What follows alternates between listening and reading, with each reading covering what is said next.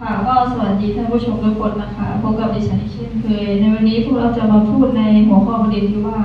ผู้แบบไหนที่สังคมไทยต้องการนะคะ เนื่องจากปัจจุบันมีข่าวหรือเหตุการณ์ที่ดูไม่เหมาะสมสำหรับการดำเนินอาชีพครูเท่าไหร่นะ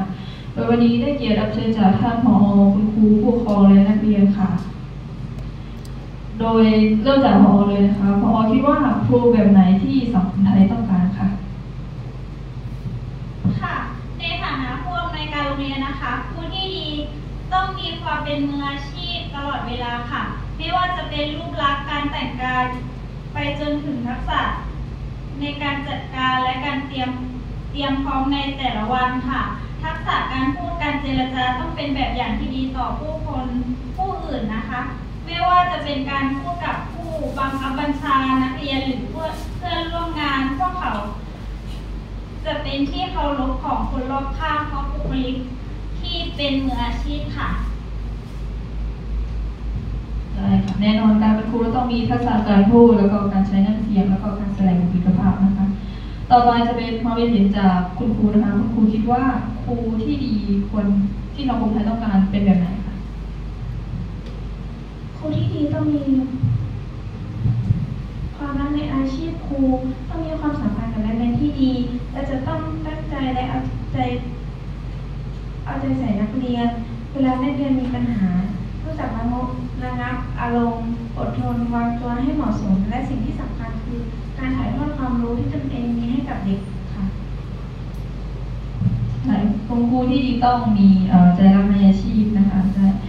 ต่อไปจะเป็นความเห็นฝั่งผู้ปกครองค่ะค่ะสำหรับความคิดเห็นของดิฉันนะคะ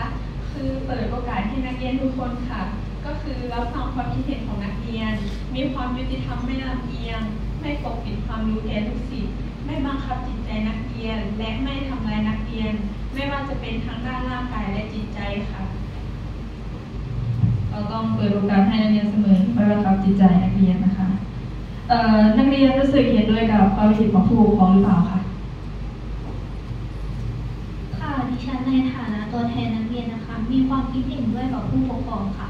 ที่คุณครูไม่ควรที่จะบังคับจิตใจนักเรียน เพราะจะทำให้นักเรียนรู้สึกอึดอัดรู้สึกไม่ดีเมื่อถูกบังคับในสิ่งที่ตนเองไม่อยากทำค่ะ ซึ่งคุณครูนะคะไม่ควรที่จะดูถูกนักเรียนที่ยากจนหรือเรียนไม่เก่งค่ะ